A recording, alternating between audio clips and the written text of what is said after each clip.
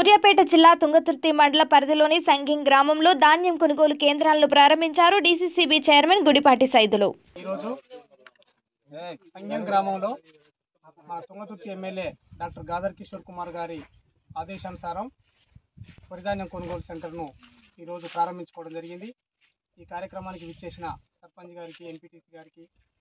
అందరికీ ఇక్కడికి విచ్చేసిన నాయకులందరికీ కూడా పేరు పేరున హృదయపూర్వక నమస్కారాలు తెలియజేస్తూ రైతులందరూ ఈ ఐకేపీ సెంటర్ను ఉపయోగించుకొని వరిధాన్యాన్ని ఎండబెట్టుకొని ఏడు పదిహేడు పదిహేడు శాతం తేమ వచ్చే విధంగా ఆరబెట్టుకొని తీసుకురావాలని కోరుకుంటూ ఇక్కడ ఉన్న నిర్వాహకులు కూడా రైతులకు సౌకర్యాలు కల్పించాలని